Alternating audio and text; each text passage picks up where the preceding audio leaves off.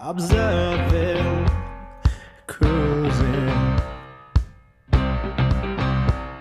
Star bright crystals are forming.